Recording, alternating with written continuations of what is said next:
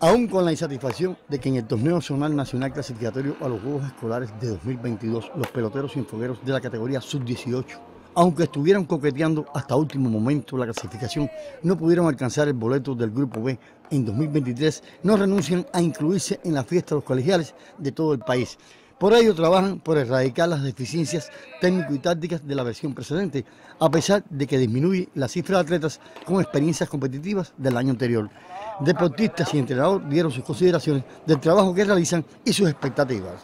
Ah, estamos en la, parte final de la preparación ahí, ya estamos a ver si podemos tratar de modelar ahí la competencia, es decir, realizar una, una X cantidad de juegos en este 15 o 20 días que nos queda que es lo fundamental para combinar ya la preparación y empezar el campeonato el día 28. Estamos preparando fuerte, trabajando en los errores que tenemos sobre todo.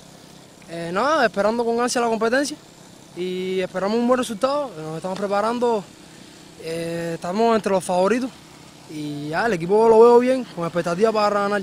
Nosotros siempre preparamos a los equipos para que sean competitivos y que salgan a ganar sus 36 juegos de pelota que tiene el campeonato. Sabemos que hay una javita para ganar y una para perder, sabemos las potencialidades que tiene el equipo y, y las debilidades que tiene pero siempre esto es un juego y hay que salirlo a ganar. Y siempre vamos a luchar porque el equipo sea competitivo y que logre la clasificación, que es el objetivo de, todos los equipos que se preparan para un campeonato. La categoría sub-18 o juvenil es la más inmediata a la de mayores. Ahí está la mayor cantera de atletas con perspectivas a integrar la nómina de los elefantes en la próxima serie nacional y otras sucesivas.